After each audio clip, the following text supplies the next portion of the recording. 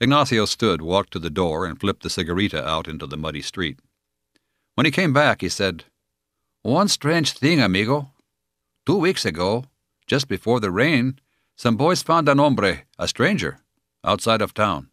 Someone had beat him nearly to death and left him tied to a tree. It was muy malo, very bad. Robbery? No, his saddle horse and pack horse were tied nearby, and he had mucho dinero, five hundred dollars in a money belt. Glenn Murdoch took him to Doc Taggart's office. Afterward, this hombre paid Doc and rode south out of town. Did he say who beat him? No. He told Glenn it was nada, a fight among friends. Well, who was he? Didn't anybody ask his name? Por supuesto, of course. A funny name he had. He said his name is Billy Christmas. I've already told you about Glenn Murdoch, the undersheriff.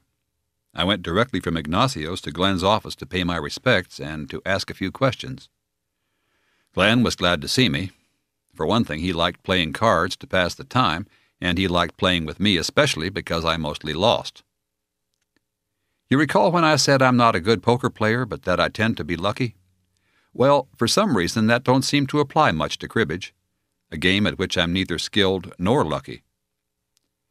Anyway, as soon as he saw me, Glenn told me to take my boots off outside so as not to track up his floor. Then he reached into his desk for the crib board and the cards. Cut them pasteboards, he said.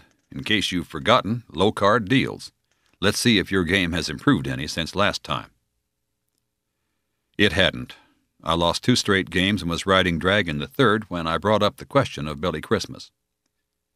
Ignacio told me about the feller the boys found whipped and tied to a tree, I said. I understand he gave his name as Billy Christmas. Glenn was all lawman from his belt buckle both ways. He fixed me with a cool, official stare that asked why I'd raised the subject. Yes, he said. He told me he'd been riding the rough string out at the M Cross. I expect you knew him there. Knew him and liked him. I was wondering if you had any idea who worked him over and why.